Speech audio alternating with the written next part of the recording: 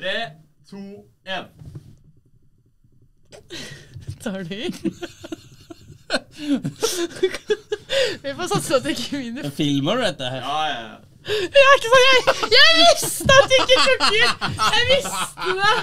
Ok, neste. Jeg merka jo det.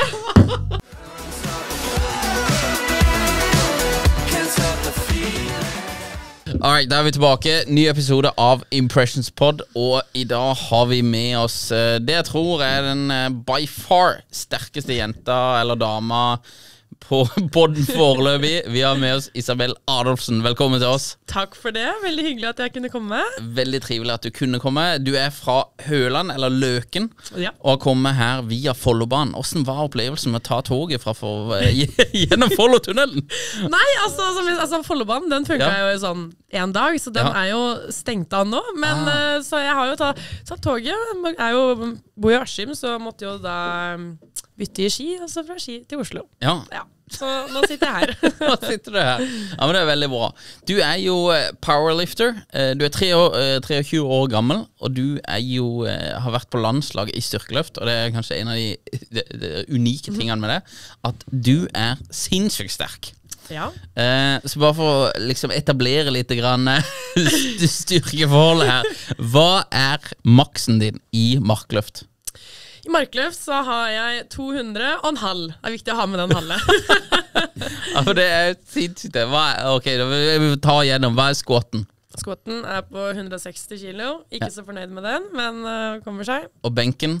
107,5. 107,5. Ja. Du, du løfter tyngre enn veldig mange menn. Mm. uh, føles det? Nei, altså Jeg føler meg jo ikke alltid så veldig sterk, men jeg blir jo minnet på det når folk på en måte blir uh, overraska eller imponert. da Ja. Så er det jo litt sånn Så får man jo litt ekstra oppmerksomhet og sånne ting. Men jeg syns jo det er gøy. Ja. Men selvfølgelig, mange menn som er mye sterkere enn meg òg.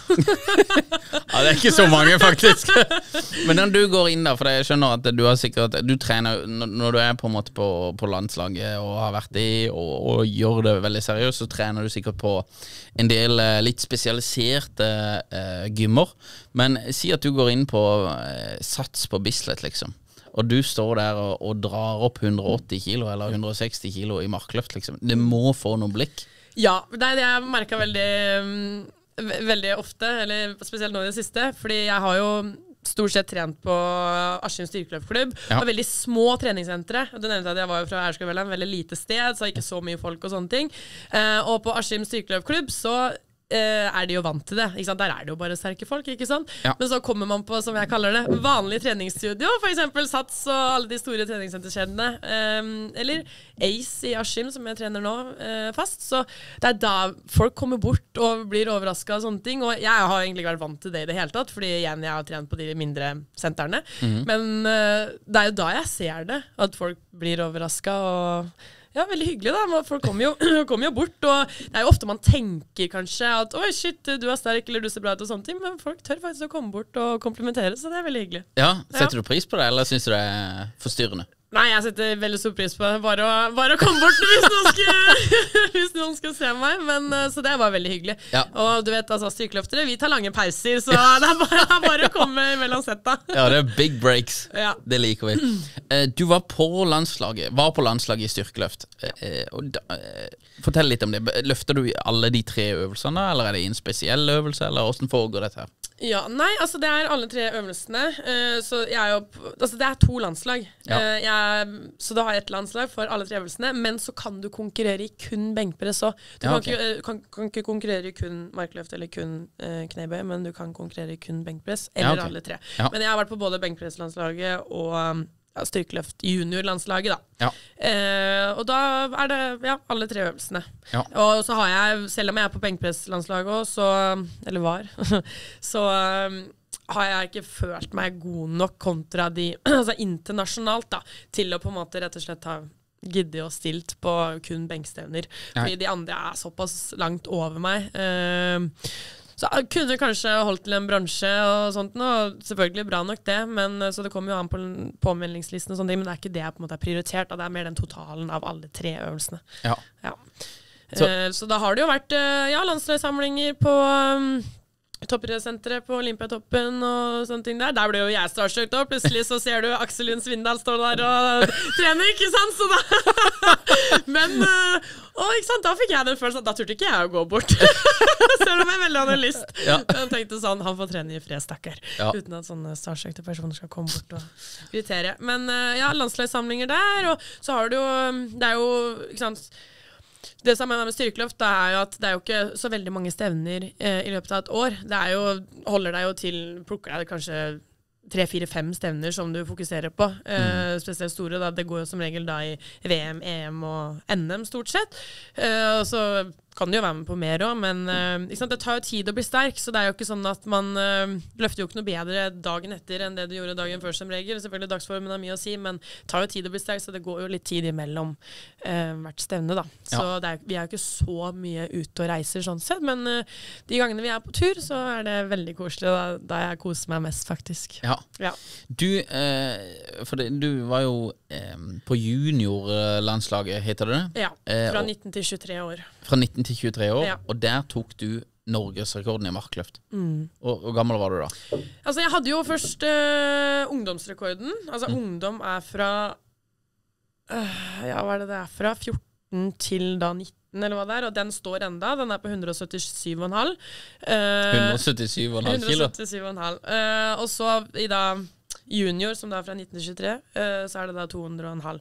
Ja. Så det var veldig gøy, for jeg er jo da første juniorjenta i Norge til å dra 200 kg i marken. Så det betydde veldig mye. Jeg hadde visualisert det i hodet x antall ganger. Ja. Uh, første forsøket mitt så fikk jeg den og, altså, det var, jeg mangla bare utrettinga, så jeg fikk den langt opp på låret. Mm. Og da tenkte jeg bare fy søren, det her Altså den siste bevegelsen, det er som en hip thrust.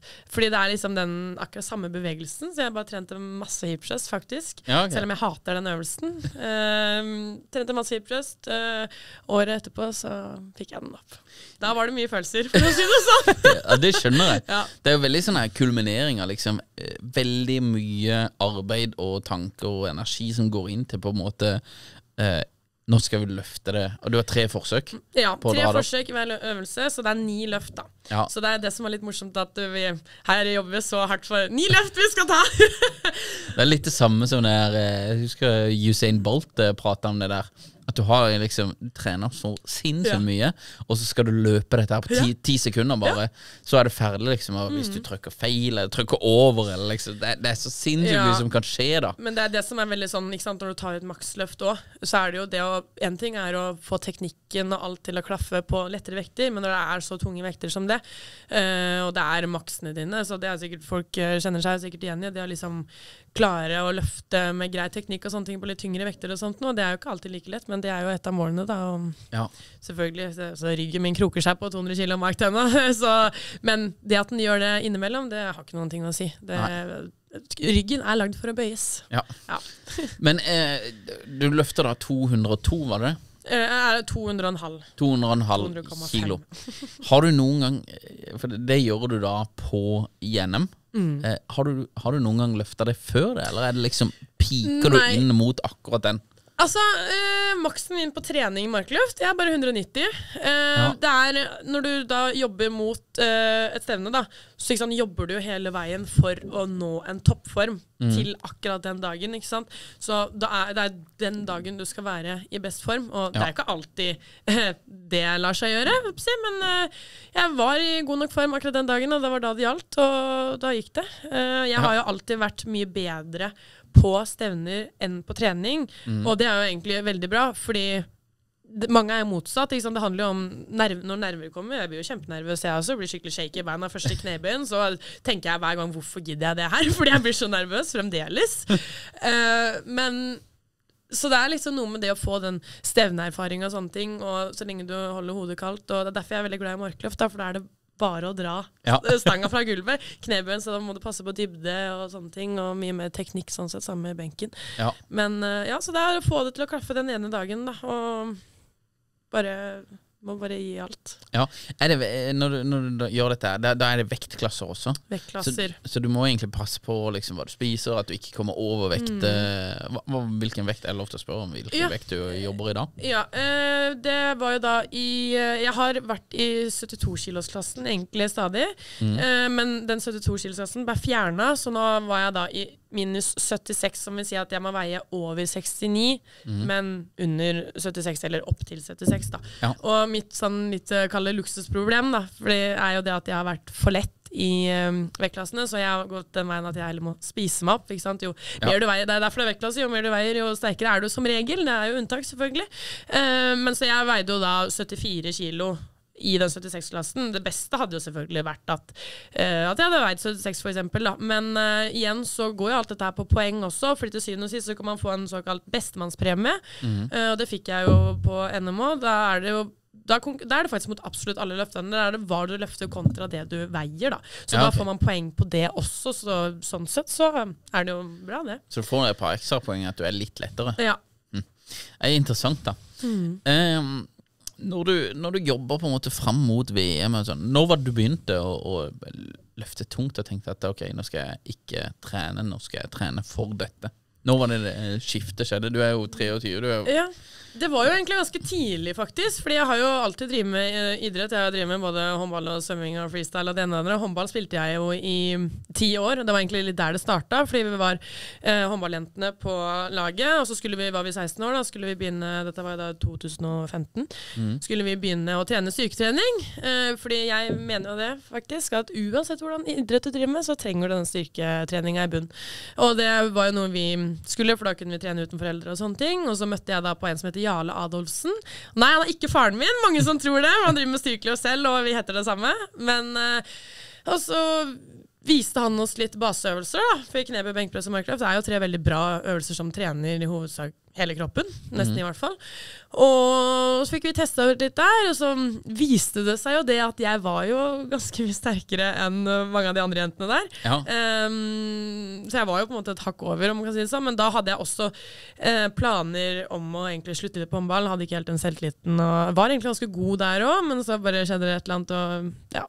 Det frista ikke så mye lenger. Tok, så tok, eh, tok jeg opp kontakt med han Jarle, da, og så tok han meg med til uh, Askim sykkelklubb, som da var nærmeste klubben. Og så mm, ja, blei jeg med han på stevne og så hvordan dette var, og da tenkte jeg sånn herregud, dette hadde jeg aldri turt, tenkte jeg da.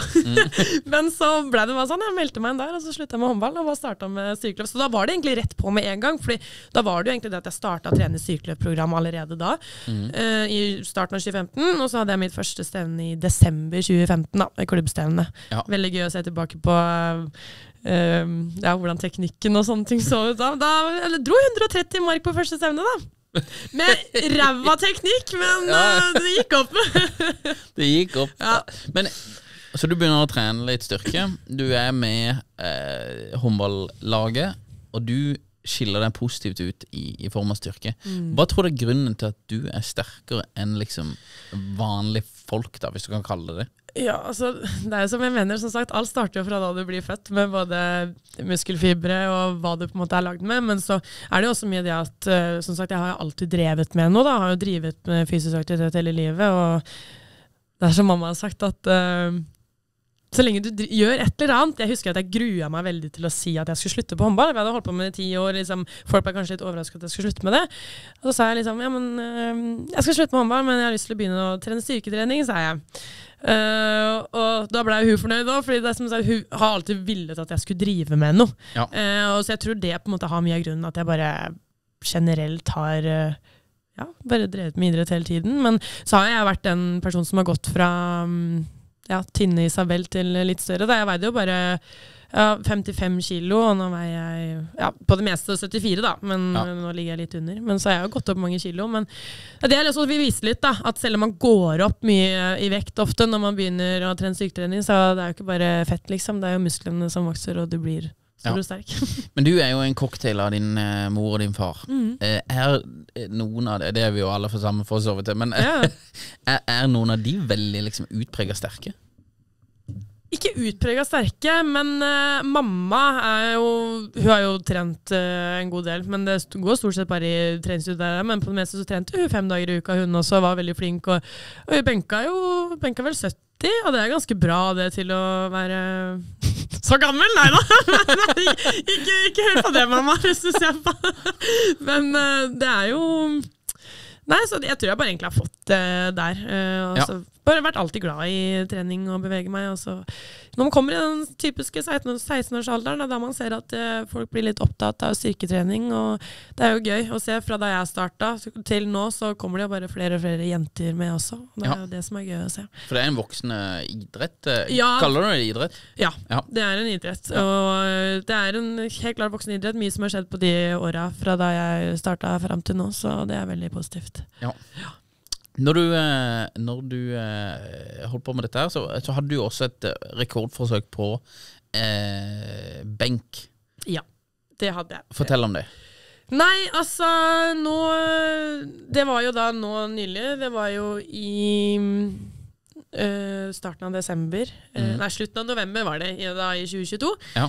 Eh, folk tenker jo at jeg har veldig bra fokus på hva jeg spiser og kosthold og sånne ting, men det her er første gang jeg faktisk har investert i en øh, kost, øh, kostholdsplan for å jeg, om det var bra valg eller ikke. Jeg valgte å gå ned en vektklasse fra da eh, 74, som var den jeg var i, til å gå ned til 69, for det var egentlig da jeg hadde best, eh, best mulighet, man kan si det sånn. Men jeg ser jo det nå at av å gå ned de kiloene jeg gikk ned, så det var ikke det at jeg blei så veldig mye svakere, fordi igjen, jeg hadde, hadde jeg fokus på proteinene og fokus på maten. Og selv om jeg gikk ned i vekt, så fikk jeg meg bra mat. Mm. Det var ikke sånn at jeg sulta meg. eller noe. Jeg kaller det ikke en diett, jeg kaller det heller bare en matplan. Fordi det var ikke noe sånn veldig streng diett eller noen sånne ting. Nei. Men ja, jeg kom meg ned. Jeg veide inn på lavere enn 69 timer. Jeg veide inn på 68,2 eller et eller annet. Ehm, og så måtte jeg jo da løfte 108 da, for å klare det her. Man har da tre forsøk, så jeg starta på 100 kg. Så gikk jeg bare rett på 108 på andre forsøket. Og det var rett og slett fordi jeg hadde ikke noe å tape uansett. Jeg hadde, hadde gull inne bare å løfte det løftet på 100 kg, første løftet mitt. Ja. Og jeg merka jo med en gang at oi, dette her var litt tungt. Så til vanlig så ville jeg nok ikke ha økt til 180 kg. For du kan, når du først har satt en vekt, så kan du ikke gå ned igjen. Nei. Men øh, nei, brukte de to forsøka. Tok øh, andre løftet på 180 kg. Gikk ikke. Prøvde en gang til. Og jeg vet jo med meg selv Jeg hadde ikke gitt opp, men jeg har aldri klart et maksløft på løft nummer to. Altså det er sånn, Har jeg ikke klart det, så har jeg ikke klart det. Da er det ikke sånn at jeg, kroppen min altså, Så prøvde jeg tredje løftet, da hadde jeg brukt opp alt. Det gikk, ja. det gikk ikke litt engang. Men jeg ser jo det nå på videoen. Uh, for Det er derfor man filmer litt, og ikke bare for å legge på Instagram, men faktisk for å se på løftet og analysere det. da.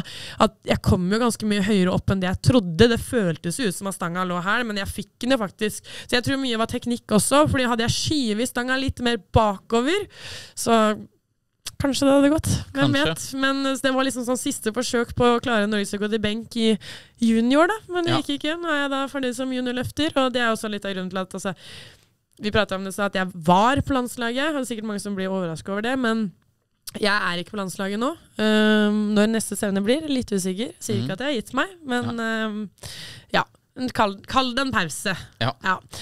Men så er det veldig synd at det ikke gikk, da. Og det føltes i starten helt sånn greit. Jeg var sånn overraska over hvor lite skuffa jeg var, på en måte. Men jeg tror egentlig det var adrenalinet som gjorde det. For jo, jo mer tiden gikk, jo mer skuffa ble jeg. Og så ble jeg bare veldig lei meg, faktisk. Og så Herregud, det går bra nå, men sånn, Så det var mer sånn i ettertid. Så bare sånn, fy søren. For da har jeg liksom, som jeg sier, gått all in med både kostholdsplan og det ene og det andre og tenkt at dette her eh, kom til å gå bra, så gikk det ikke. Da blir man jo skuffa.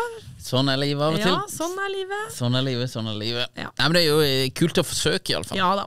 Og det er jo veldig close. Ja, og det er det som jeg syns er litt eh, Jeg prater jo egentlig sjelden om hva som på en måte er målet mitt, og sier det høyt og sånne ting. Og det er jo mye av grunnen til at jeg ikke liker å si det for høyt òg. Legge ut på sosiale medier og sånn. Jeg skal ta det og det. Fordi man vet aldri hvordan det går. Det er som jeg, sier, jeg, jeg føler på en måte at jeg dreit meg ut, men så får jeg liksom høre det at Men du dreit jo ikke ut. Du har jo, altså, det er verre å ikke prøve. Og det er jeg er helt enig i. Mm. Og, men som sagt, det var en grunn for at jeg ikke la ut at jeg skulle løfte det og det, men at jeg sa at jeg hadde lyst på en norgesrekord, det Det er det ingen tvil om. Men, eh, så jeg var litt redd for å legge ut det, på en måte. Men eh, gjort er gjort, og det er litt av grunnen for at jeg ikke snakker så høyt om det. Jeg får heller ta det i ettertid. Gjort er gjort, og Ja. løfte er løfte. Jeg tror det går veldig greit. Nå, eh, vi prata bare kjapt om det i stad, men jeg har fått en sønn. Og Det er en, Ja. en av tingene jeg har lyst til at han skal få med seg i livet. Det at man tør ting. Mm. Ja, og så er det, det er ok å feile. ja, Det det er det. det er lov å Det er ikke alltid Det man lærer av også. Det er mye bedre det enn å ikke prøve. Mm. Tenker jeg iallfall. Ja, ja, helt klart. For det, hvis du ikke prøver, så blir du bare Da tør du aldri, aldri noen ting, liksom. Å Mm. gå for noen ting. Det er bare det jeg angrer mest på, kanskje. Da, at jeg burde nå gått i 76 istedenfor å gå ned i vekt. Men da måtte jeg løfta 110, da. Så da måtte jeg løfta litt mer igjen. Men uh. Har du gjort deg denne erfaringen? ja. Det går ja, bra. ja. Du er på sosiale medier. Du har eh, nesten 10K følgere på Instagram, og du har eh, rundt 14 000 på TikTok. Mm.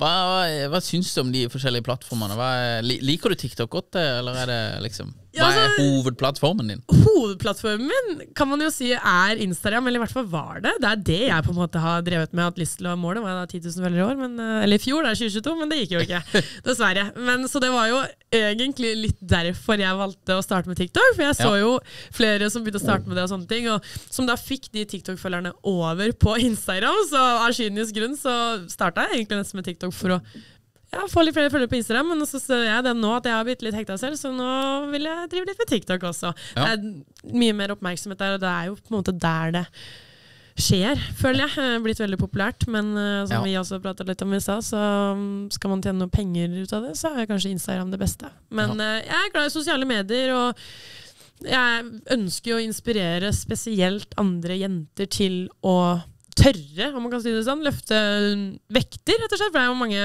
der ute som fortsatt er redd for å løfte tungt fordi de enten kan skade seg, men mye av det at de er redd for å Nå ble jeg senest ut som en mann, liksom. Men eh, Ja. Jeg pleier ofte å ta meg selv som et eksempel. Og greit, jeg har vokst litt eh, på de åra, jeg også, men uh, ifølge meg selv så syns ikke jeg at jeg ser ut som en mann. Nei. Ja. Det er jo litt over på det andre. da TikTok Mm. eh, Jeg legger jo ut litt videoer på TikTok hvor jeg gir sosiale medier-råd. Eh, og jeg er da 33, og jeg får en god del hate pga. at jeg er for gammel Mm. til å prate om TikTok. På 33, og det, det Du har jo livserfaringen, altså. I utgangspunktet så er du jo ikke akkurat gammel Nei, tydeligvis er jeg altfor gammel for Ja, dette. ja. her Så. Men det, det går, det, for meg går det helt fint. Men Ja. eh, min opplevelse er at eh, det er mye mer hate på TikTok. Ja, Åssen er det for deg? Får du mye hate på TikTok, du? Eh, Eller på sosiale medier generelt? Jeg vil påstå at jeg får ikke mye hate, Nei. men eh, jeg får noe, selvfølgelig. Eh, og så, som sagt, jeg har jo ikke all verdens følgere akkurat nå, men jeg ser det jo mer og mer man får, jo, jo mer og mer hate får man også. Ja. Uh, og det, ofte så går det jo på at uh, ja, man har for mye muskler og ja, igjen Sikkert noen usikre gutter som uh, føler at jenter ikke kan være større og sterkere enn de. ja. Ja, for, for det, er, det, er det mest hate fra jenter eller gutter? Nei, og helt klart mest hate fra gutter. Jeg, tror- jeg tror faktisk ikke at jeg har fått en negativ kommentar fra ei jente før. Nei. Nei. Hva, hva tror du er grunnen til det? Hvorfor hater så mange Tror du det er litt eh, Er vi tilbake til barnehagen? At uh, noen syns du er litt uh, søt, og så skal de heller altså, plukke litt på deg istedenfor å Det er jo ingen hemmelighet at gutter som oftest uh, er, og alltid vil være sterkere enn damer, sånn fra si, Sånn jeg er lagd. ja. Men selvfølgelig så finnes det jo unntak. Jeg er fortsatt sterkere enn flere gutter, og jeg tror det er bare noen som ikke helt tåler å se det, rett og slett. Ja. At de føler at ja, ved å slenge en kommentar på mine videoer, så føler de seg bedre, eller gud vet hva. Men eh, så jeg bare tenker at de er usikre på seg selv. Jeg syns i hvert fall det bare er eh, kult, og at man kan skille seg ut litt. Grann. Det er tydeligvis ingen, noen som ikke tåler å se, så ja, for det, det er jo Ja. det. Du er jo sterkere enn veldig mange gutter. Det, det må jo være et eller annet som trigger de i forhold til at liksom Ok, shit, ja. dette her er, eh, føles eh, skremmende, eller eh, Ja, et eller annet. Så jeg prøver på en måte bare å se det på som en sånn egentlig en positiv ting, nesten. At det er Ja. sånn hva skal jeg si, Hvis du ikke får hate, så gjør du ikke noe bra. Får du hate, så gjør du noe bra, tenker jeg. Fordi Ja. det er jo altså sjalusi, det mm, Hva skal jeg si ødelegger for mange. Uansett, eh, for eh, algoritmene på sosiale medier så er eh, engasjement positivt. Helt så klart. de dytter deg fremover med hate. Ja, Så må jeg bare tenke at dette her er It's just the beginning. Det kommer til å bli verre. Ja. Ja, så jeg, ja, men jeg må, jeg må bare forberede meg på at eh, man kommer til å få mye dritt. Ja, Og det er jo noe man må tenke på. Det er jo ikke alle som tåler At man kan sitte og si der at man ikke bryr seg og sånne ting, men selvfølgelig, det er jo noen ting som går inn på den. Ja. Ja. Men jeg tror det, er- det er greit å være litt uh, hardhuda hvis du skal eh, på en måte put yourself Man out vet hva som kommer. Ja, Ja. man vet hva som kommer. Men eh, fra eh, hate på en måte til love, da. Du er jo singel. Eh, er det mange som eh, Får mye Er det mye sliding inn i DMs? Ja, det, har jo blitt litt, men jeg skal heller si at jeg er litt dårlig på å svare. Jeg brukte vel et par dager på før jeg så meldinga, men det var fordi jeg ikke hadde sett den, da. Men eh, så, så meldinga di òg. Men ja, nei, altså jeg har ikke sveipa så mye på Tinder og sånn. Altså, jeg er ikke helt der. Jeg syns rett og slett at det bare er litt Jeg synes det er litt kjedelig. Ja. Jeg er ikke den personen som liksom må sitte og Jeg liker på en måte å prate med folk. Jeg er åpen for å bli kjent med nye folk, det er ikke noe om det å gjøre. Men Ja. det, hva skal jeg prate med folk jeg ikke kjenner om? da? Det blir bare sånn Hei, skjer, ikke noe du, da.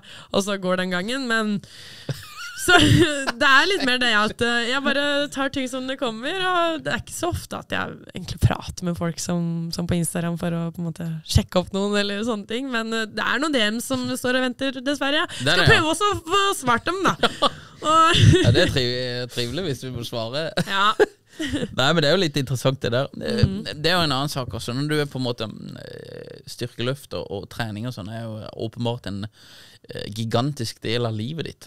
Ja, Må du veldig. ha eh, Når du tenker på Nå er jo sikkert ikke du fokusert på få en type i det hele tatt, men når du tenker på det, du må du ha liksom en beist av et kar? Nei, altså jeg har funnet ut det at det hjelper på en måte ikke helt hva jeg sier. Du vet, Alle har jo sin der ja, um, høy og mørk og brunt hår og altså, som Selvfølgelig svær, at det er en positiv ting, men jeg har jo sett at det ender jo st stadig vekk opp med det motsatte.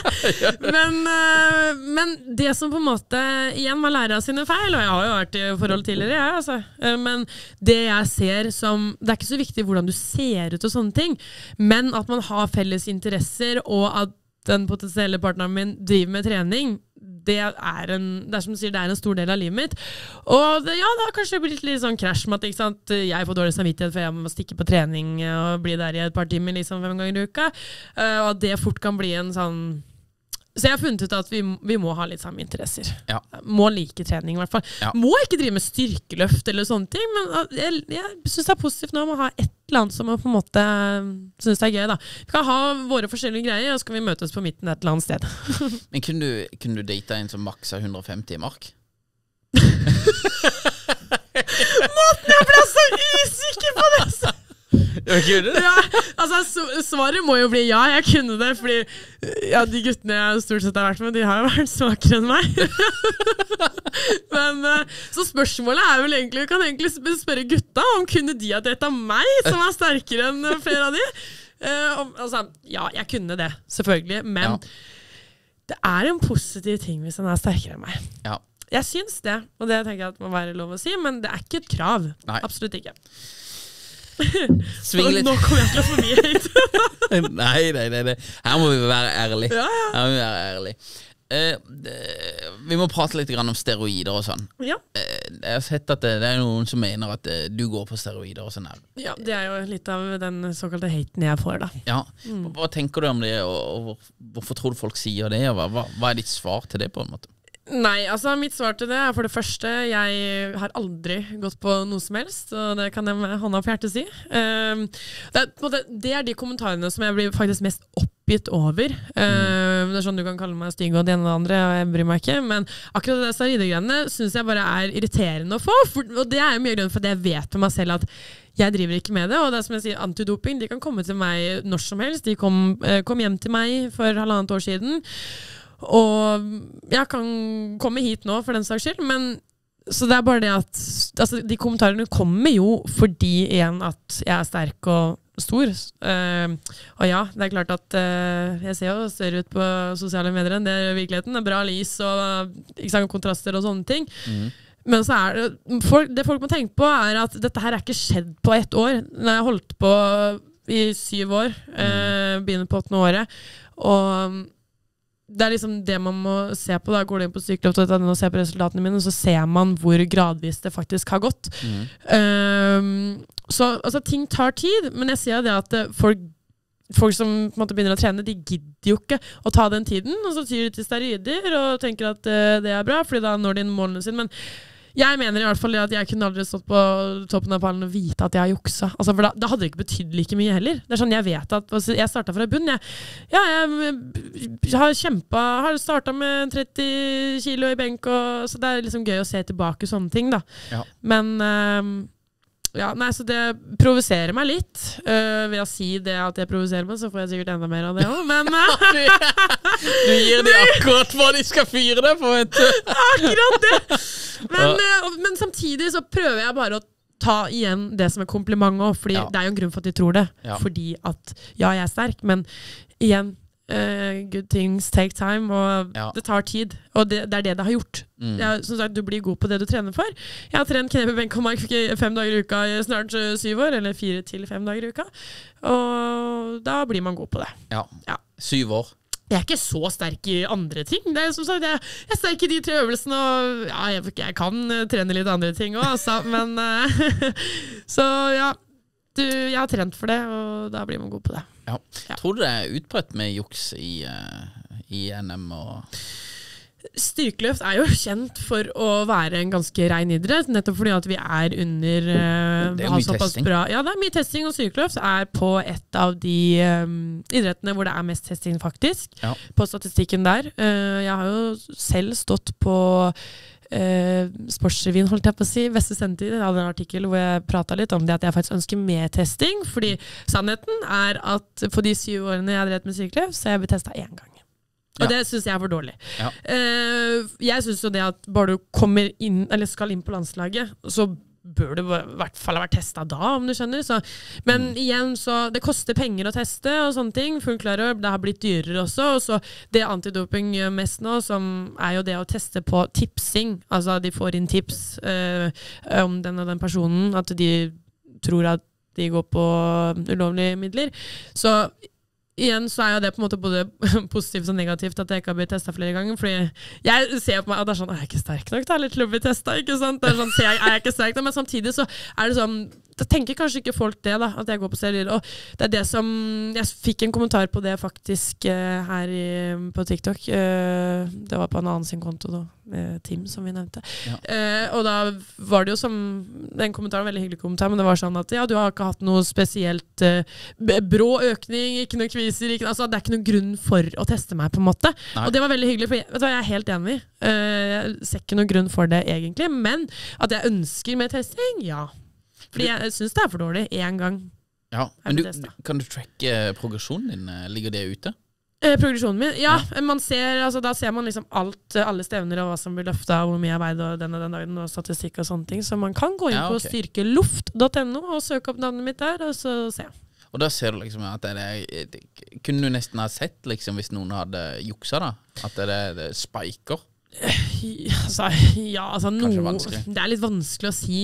Men det er klart at det er som jeg sier, eh, skal man bli så sterk som det er, så igjen, det er ikke skjedd på et år. Nei. Nei. Uh, så en går det, blir man så sterk så fort, så er det jo kanskje noe med Finns, da. La oss prate litt om motivasjon også. Eh, For det, du har holdt på med dette her i syv år. Fem, Fire til fem dager i uka. Det er jo Når jeg går på Sats og trener selv, så ser jeg noen eh, folk som er sinnssykt godt trent. Og du ser at de er sinnssykt godt trent. Ja. Og da tenker jeg Det jeg tenker, eh, men det kan være pga. at jeg holder på med det jeg holder på med, men det jeg ser da, det er egentlig dedikasjon og struktur over lang tid. Ja. Og det er egentlig så inspirerer det meg mest. For det, da ser jeg at han her, da, det han har gjort her, det er et godt stykke arbeid, liksom, ja. egentlig, tenker jeg. Og eh, han har uh, jobba med dette her, og dette her er jo ikke noe Du, du får liksom ikke tak i noe skippertak, på en måte. Det, det er en jevn strøm av uh, på en måte opp, på, på, ja, Ja, pay the dues, tid. Mm. Så eh, hvordan på en måte motivasjon eller struktur, eller hvordan tenker du på disse tingene? Motivasjon går jo litt sånn opp Mm. Ja, og ned. Det er jo et spørsmål jeg ofte får, hva som motiverer meg. Og sånt noe. Og jeg har jo funnet ut at det som har motivert meg i lang, langløp, er jo rett og slett det at jeg konkurrerer. Ja. Altså Konkurrentene mine er en motivasjon, egentlig. Ja. Jeg tenker bare at de trener hardt, da må jeg trene enda hardere. Mhm. Um, en litt morsom ting var jo da under korona, Ja. uh, når treningssentrene og sånt nå ble stengt. Uh, da var jeg så heldig at jeg fikk låne litt utstyr og sånne ting, og pappa har en stor garasje, så trente jeg i garasjen der.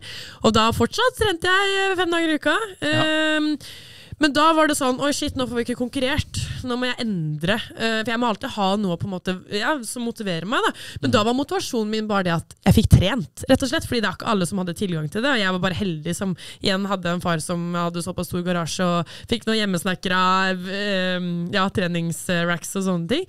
Så da var det bare at jeg fikk trent. Men ja, i det lange løp så har det største motivasjonen min bare vært mine konkurrenter, og igjen at jeg konkurrerer. da At jeg Ja. vil jo bli best. Så jeg har vært norgesmester et par ganger, og tredjeplass i EM og VM. Jeg er glad i bronser, dessverre. Men eh, Jeg er kanskje god i Norge, men eh, når det kommer i verden, så er det alltid et par stykker som er ganske hakket over eh, over eh, meg igjen også.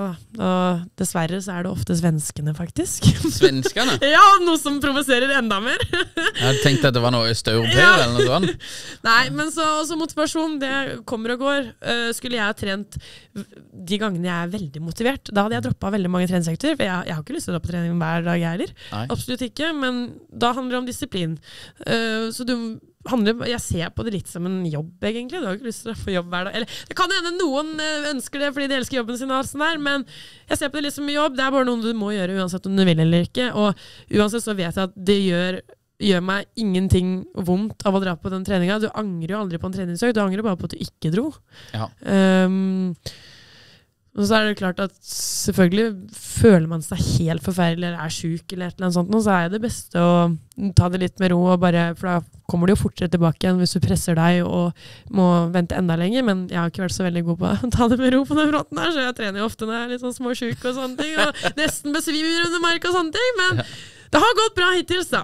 Bank i bordet har aldri hatt noen heftige skader eller noe sånt noe heller, faktisk. Så, så til de som eh, tenker at de har løftet tungt, er eh, farlig og alt det der, det er også en myte, vil jeg påstå. da. Ja, Det det er handler bare gjør det riktig. handler om teknikk og gjøre det riktig, og ikke makse hver eneste økt som de typiske beklager. Men 16-årige gutta «Å, 'Skal jo makse i benken, gutta?' Ikke sant? Hver uke. ikke sant? Vi makser nesten bare på stevner, vi. Ja. Vi løfter tett opp mot maks. Altså styrke, da er det jo mye tunge vekter med få reps. ikke sant? Vi holder oss som regel på Vi har jo mengdeprogram òg, da. Starter som regel med mengdeprogram. Da er det lettere vekter og litt uh, flere reps. Men så begynner jo den, går det liksom gradvis nedover mot det sende, da. Så da holder man seg på nesten fra ja, 1 til 5 repetisjoner. Men eh, holder på ja, 85 til eh, 95% av maks, da. Ja. Så vi er tett oppå maksen, men maksløftene kommer som regel på stevner. Ja. Mm. Det er ganske interessant. Ja. Men det du sier, er, det er jo, egentlig mer eh, disiplin Mm. enn motivasjon. ja, ja, helt klart. Det er det som, eh, gjør, eh, det er det som skaper på en måte suksessen. Da. Mm. Det er sånn, Skal du bli god, så må du legge ned jobben. Og så kommer jo de folkene som er Du skal jo ikke tvinge deg selv til å dra på trening. Og så blir jeg sånn Vet du hva, jo, du må faktisk tvinge deg selv til å dra på trening. Du kan ikke bare dra når du har lyst. Hvis du vil bli god, da, Ja. så, så kan du ikke det. Nei. Det er klart, er du på en måte bare en som har ikke noen sånne spesielle mål, altså dra på treninger når du vil, men skal du bli god og kanskje best, så må du faktisk legge ned det arbeidet som må gjøres. Og da må du gjøre det selv om du ikke alltid har så veldig lyst. Nei, Det er veldig interessant. Hva er på en måte planen din videre nå eh, med hele styrketreninga? Og Ja, planen min videre, det er jo øh, godt, godt spørsmål. Jeg tror egentlig hele Styrkeløft-Norge lurer litt på det. Det har jo gått noen rykter her og der. Jeg kan jo egentlig bare nesten bekrefte slash avkrefte ting her og nå, egentlig. Det er første gang jeg prater om dette her. Eller t- egentlig tenkt å lage en video på det og sånne ting. Men fordi at det går litt rykter om at jeg har slutta og lagt opp og Sånne ting. Fikk jo høre her at uh, til og med bare nede på klubben der jeg trener, så var det en som hadde spurt ja, men så trener Isabel nå, egentlig. Da, Isabel da, hun har lagt opp, og det var før benke-NM i det hele tatt. Ikke sant? Så det har jo gått tydeligvis rykter lenge at jeg har lagt opp. Men jeg har i hvert fall aldri, aldri kommet fra min munn at jeg har lagt opp eller slutta eller noe som helst. Uh, men at det er en sannhet i at jeg er litt usikker på om det kommer til å bli så mye løfting, i hvert fall i år. Jeg har ikke betalt noen lisens ennå, jeg heller ikke, så jeg, jeg, jeg vet ikke, rett og slett, på en måte når neste stevne blir. Nei. Mulig jeg kanskje Jeg kommer fortsatt til å trene, og jeg trener like mye, bare ikke like ofte. Men jeg ser det nå, for eksempel Før så hadde jeg jo mark fire dager i uka, er, men jeg ser det at det er nesten kanskje var litt for mye. Nå trener jeg Nå hadde jeg fokusert mye på benkpressen. Um, så da trente jeg bare mark to ganger i uka. Men sånn som i morgen så skal jeg makse litt med en kompis, så skal jeg prøve på 190 i morgen. Og det er ved å trene da tung mark én gang i uka. Så det er det som er Jeg ser jo det at selv om jeg trener baseøvelser mindre, så er jeg fortsatt ganske sterk. Og som sagt, 190 er jo min eh, treningsmaks i markløp. Så hvis jeg klarer det i morgen, så er jeg kjempefornøyd. Jeg veier jo mindre nå også, men Så jeg kommer fortsatt til å trene, eh, og bare for jeg hadde en liten down-periode hvor jeg hadde det største oppholdet, eller hva jeg skal si. Jeg hadde jo NM i april. Mm. Og ja, i sånn tre måneder sånn midt på sommeren der, så trente jeg nesten ikke mark og bøy i det hele tatt. Og så så jeg det at shit, nå begynner jeg liksom å bli litt svakere. Og det, det klarte jeg ikke å takle, rett og slett. Så da måtte jeg, da måtte jeg bare begynne på nytt igjen. Så uansett om jeg på en måte slutter, eller kall det hva du vil, så øh, jeg klarer tydeligvis ikke å bli så veldig smakere. Så om jeg kommer til å bli noe sterkere enn det jeg noen gang har vært, vet ikke. Men jeg kommer i hvert fall til å vedlikeholde ting. Ja. Det kommer jeg til. Fordi jeg igjen takler ikke å bli svakere Uh, da. så vi får se om det blir noe løfting i år. Men jeg har ikke slutta. Det er som vi pleier å si, vi sykeløfter, vi slutter alle, vi tar bare lang pause. Ja, det er helt nydelig. Ja. Isabel, eh, hvor er det best å følge med på deg? Hva er? Er det- Du er jo både aktiv på Instagram og på TikTok. Ja. Og da er nikket Uh, Isabel Adolfsen på Instagram. Uh, og så heter jeg da Isabel Miranda.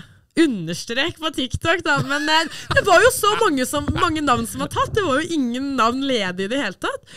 Eh, ja, og som sagt eh, får jo litt hate for etternavnet mitt til og med, som kan bli sammenligna med en eh, viss person. Så jeg prøver jo nesten å kutte litt ut etternavnet. Jeg prøver Miranda overalt, da. Men Isabel Miranda er tatt på Instagram, da. Ja. Så Isabel Adolfsen og Isabel Miranda. All right. Ja. Da gleder vi oss til å følge med videre. Tusen takk for at du kom til å komme her til oss og delte. Det er veldig interessant eh, å, å på en måte høre åssen du tenker rundt hele dette. Og, Og, og hvorfor du har eh, gått et godt stykke lenger enn eh, veldig mange andre som trener. da Både, i- både gutter og jenter, egentlig. Ja, Veldig Nei. hyggelig at jeg fikk komme. Det var mo- Morsom og hyggelig prat. ja. Tusen takk, og, og lykke til i 2023. Takk for det. Takk skal du ha. I like måte. Med ny, ny kid og greier. det det blir jo i fingrene. Ja. Eh, han er i bulking season, så Ja, det blir bra. Han blir jo en ekte til han. Få sende han til det. Ja, men det er bra. Tusen takk. takk, takk.